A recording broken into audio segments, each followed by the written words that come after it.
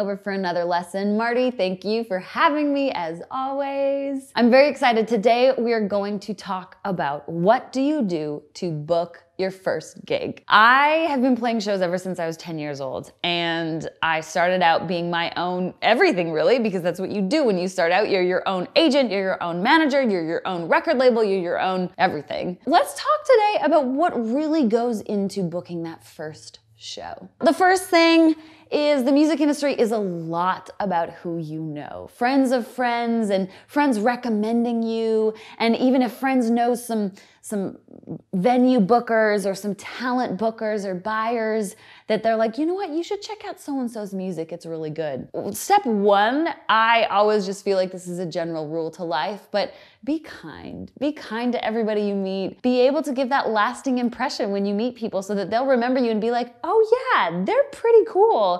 And then they'll wanna hire you to actually book you in their venue. So that's the first step actually, is be nice to everybody you meet. The second thing I think is really important is having a recording of your music. I know it sounds obvious, but it's really hard to book a gig if somebody can't hear what you do. And better, even better than hearing is being able to hear and see. If you have some way of recording a few of your songs, even if that's recording in your home studio, I mean, there's so much you can do with apps and laptops and you know in in your own bedroom. That's how i started out too. That's how i booked my first few gigs is just by recording things into garageband and hoping that they sounded half decent. So there's so many ways that you can just record something but i think it's really important for you to have some sort of music for you to send, some a link, so to speak. And then if you can have any footage of you playing, whether that's playing in a coffee shop, even potentially playing in your living room, but I always think if you can have a video of you actually playing somewhere, it's always a better representation. I think that just adds. So whether you can throw that little video up on YouTube and have that YouTube link of you playing. It's just more resources for you to send somebody. Essentially, it used to be called an EPK, an electronic press kit. And now I don't even know if that term is really used anymore, but basically you just want somebody to be able to really see your face, hear what you do, and be able to put it all together to be like, oh yeah, I should probably, I should probably book them for a show. Once you have all of the materials together, so that's music, hopefully a video, and you probably want a picture, a half decent looking picture. Again, you can do so much with your own phone and apps these days that you don't even need to necessarily get a professional photo shoot together, but just have like a good looking professional picture that shows you and your artistry in all of your best light. And then I'd say start looking at places in your town or city that you'd want to play, that book a lot of up and coming and new artists. You know, as much as we all want to go play Madison Square Garden, we know that we're probably not going to be able to play that tomorrow. So we might need to start at our local coffee shop that let a bunch of new artists play. And so when I was starting to book my first few shows, I'd bring my parents with me everywhere because I was 10 years old at the time. And so I would go to open mics at, at coffee shops and I would go check out their shows. I would meet, ask to meet the manager. I would ask if the manager was the one booking talent. I was a very uh, proactive 10 year old.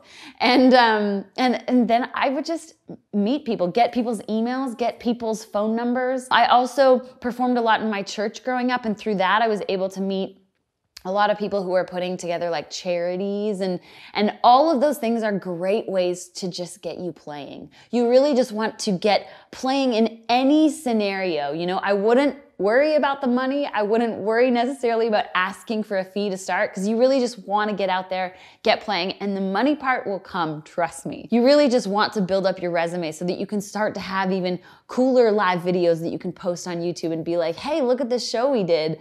And then work your way up from coffee shops to maybe the local bar that books bands to maybe there's like a, a venue that, that has, you know, 200 to 500 capacity that they they book local bands and up and coming artists. And so again, I would go to the venues that you think would book new artists, meet the staff or ask if you can get the contact info of the staff. And then I would just shoot them a note. As crazy as it sounds, the best thing that you can do is just be you and ask.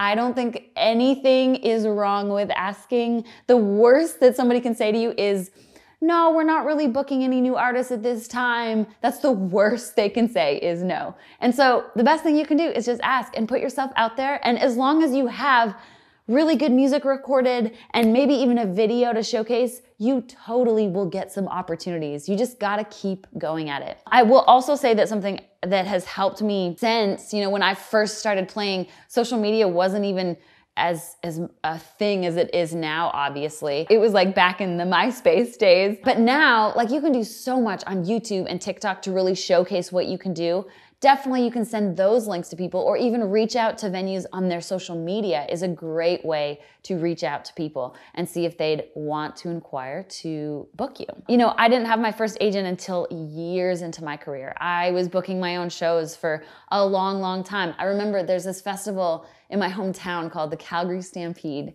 and it's 10 days long. I played the Stampede ever since I was a little girl, but there was one year that I was really going after it, and I booked myself 68 shows in 10 days. 68 shows. So I was playing at all hours of the day. I was playing at breakfasts, lunches, dinners, club shows at night. So really whatever you want to do, you just need to put your mind to it and your heart to it and you can accomplish it. These are just a few ideas to get you into the essence of booking your first gig.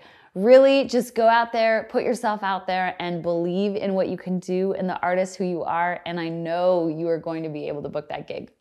Thank you so much for hearing me out. As always, if you have any questions, feel free to DM me on my socials or hop on over to my YouTube and ask me whatever questions you want. Follow and subscribe to Marty Music as well as my own channel. And if you want to learn guitar from me, I wrote my own guitar course. So um, check out the links below. It's called Playing Well. We'll see you guys next week.